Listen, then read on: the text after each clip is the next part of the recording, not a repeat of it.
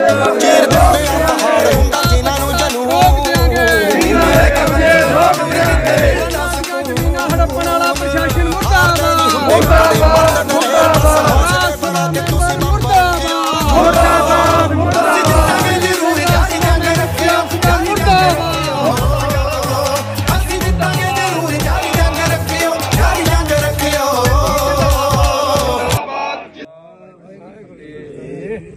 ਅੱਜ ਗਿੱਦੜਪਿੰਡੀ ਪੁਲ ਦੇ ਨਜ਼ਦੀਕ ਕਿਸਾਨ ਸੰਘਰਸ਼ ਕਮੇਟੀ ਦੇ ਆਗੂ ਸਹਿਬਾਨ, ਵਰਕਰ ਸਹਿਬਾਨ ਬਲਜਿੰਦਰ ਸਿੰਘ ਲੋਹੀਆਂ ਕਿਸਾਨ ਸੰਘਰਸ਼ ਕਮੇਟੀ ਪੰਜਾਬ ਸੂਬਾ ਪ੍ਰਧਾਨ ਬੇਨਤੀ ਕਰਦਾ।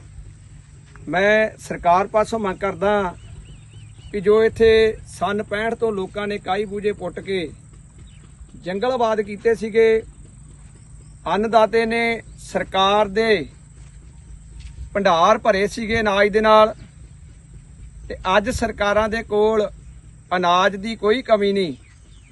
ਤੇ ਉਸ ਚੀਜ਼ ਨੂੰ ਵੇਖਦਿਆਂ ਹੋਇਆਂ ਸੈਂਟਰ ਗਵਰਨਮੈਂਟ ਦੀਆਂ ਜ਼ਮੀਨਾਂ ਦੇ ਉੱਤੇ ਕਾਬਜ ਕਿਸਾਨਾਂ ਨੂੰ ਉਜਾੜਿਆ ਜਾ ਰਿਹਾ। ਜਿਹਦੇ ਵਿੱਚ ਪੰਜਾਬ ਸਰਕਾਰ ਦਾ ਰਾਜ ਸਭਾ ਮੈਂਬਰ ਬਾਬਾ ਬਲਵੀਰ ਸਿੰਘ ਸੀਚੇਵਾਲ ਤੇ ਕੁਝ ਕੁ ਅਧਿਕਾਰੀ ਉਹਦੇ ਨਾਲ ਜਿਹੜੇ ਰੇਲਵੇ ਵਾਲੇ ਦੇ ਨਾਲ ਰਲੇ ਹੋਏ ਆ।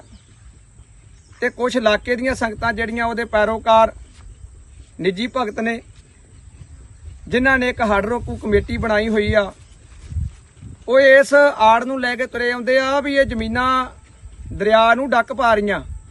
ਇਹ ਜ਼ਮੀਨਾਂ ਸਦੀਆਂ ਤੋਂ ਵਗਦੀਆਂ ਆਈਆਂ ਵਾ, ਤਿੰਨ ਪੀੜ੍ਹੀਆਂ ਹੋ ਗਏ ਇਹਨਾਂ ਨੂੰ ਵਾਉਂਦਿਆਂ ਦਰਿਆ ਦਾ ਵਹਾਣ ਬਿਲਕੁਲ ਚੱਲ ਰਿਹਾ, ਜਿੱਥੇ ਕਹਿੰਦੇ 12 ਦਰ ਬੰਦ ਨੇ, ਟੋਟਲ ਦੇ ਟੋਟਲ ਸਾਰੇ ਹੀ ਦਰ ਜਿਹੜੇ ਆ ਚੱਲਣ ਡਏ ਆ।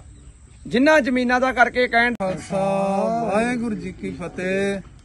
ਅੱਜ ਅਸੀਂ ਗਿੱਦੜਪਿੰਡੀ ਸਤਲੁਜ ਦਰਿਆ ਦੇ ਕੰਢੇ ਤੇ ਬੈਠੇ ਆ, ਜੋ ਕਿ ਇੱਥੋਂ ਬਸਤੀ ਦਾਰੇਵਾਲ ਮੁੰਡੀ ਕਾਲੂ, ਲਾਲੂ ਵਾਲਾ, ਸਾਰੇ ਹੀ ਕਿਸਾਨ ਇਕੱਤਰ ਹੋ ਕੇ, ਜੋ ਕਿ ਇੱਥੇ ਬਾਬਾ ਬਲਵੀਰ ਸਿੰਘ ਸੀਚੇ ਵਾਲੀਆ ਰਾਜ ਸਭਾ ਮੈਂਬਰ, ਕਿਸਾਨਾਂ ਦਾ ਅਜਾੜਾ ਕਰ ਰਿਹਾ ਵਾ।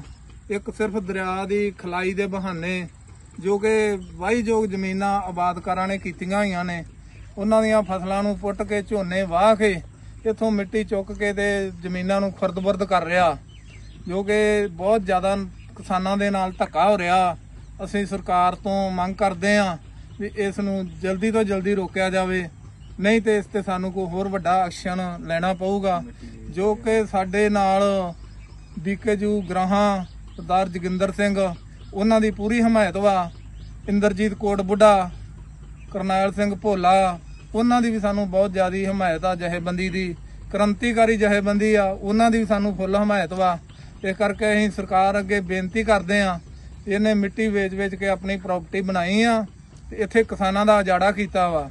ਜੋ ਕਿ ਇਧਰਲੇ ਬੰਨੇ ਨੂੰ ਬੰਨ ਕੱਟ ਕੇ ਰਸਤਾ ਬਣਾਇਆ ਸੀਗਾ ਉਸ ਨੂੰ ਅੱਜ ਮਾੜਾ ਮੋਟਾ ਜਿਹਾ ਹੀ ਟਾਲ ਮਟਾਲਾ ਕਰਕੇ ਉਹਨੂੰ ਪੂਰ ਕੇ ਗਿਆ, ਉਹਨੂੰ ਚੰਗੀ ਤਰ੍ਹਾਂ ਰਸਤਾ ਨੇ ਨਹੀਂ ਬੰਦ ਕੀਤਾ। ਅਸੀਂ ਇਹ ਵੀ ਮੰਗ ਕਰਦੇ ਹਾਂ ਰਸਤੇ ਨੂੰ ਚੰਗੀ ਤਰ੍ਹਾਂ ਹੀ ਬੰਦ ਕੀਤਾ ਜਾਵੇ। ਵਾਹਿਗੁਰੂ ਜੀ ਕਾ ਖਾਲਸਾ ਵਾਹਿਗੁਰੂ